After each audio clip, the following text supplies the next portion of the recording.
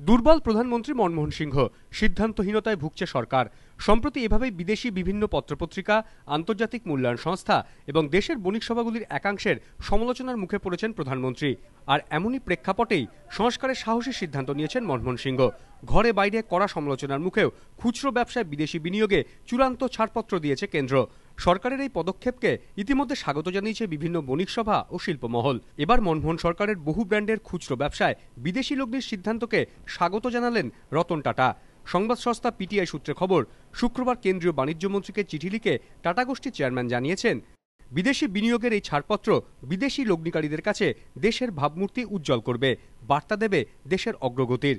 সূত্রের খবর, চিঠিতে রতন টাটা কেন্দ্রীয় বাণিজ্য মন্ত্রীর প্রশংসা করেছেন। বলেছেন, দীর্ঘদিনের কাঙ্ক্ষিত সংস্কারের বাধা হয়ে দাঁড়িয়েছিল বিশেষ কয়েকটি স্বার্থান্বেষী দলের রাজনৈতিক বিরোধিতা। তা সত্ত্বেও এই পদক্ষেপ প্রশংসনীয়। বিভিন্ন বণিক সভা শিল্পপতিদের পাশাপাশি টাটা গোষ্ঠীর কর্ণধারের এই চিঠি অত্যন্ত তাৎপর্যপূর্ণ বলেই মনে করছে ওয়াকিবহাল মহল। এবিপি আনন্দ।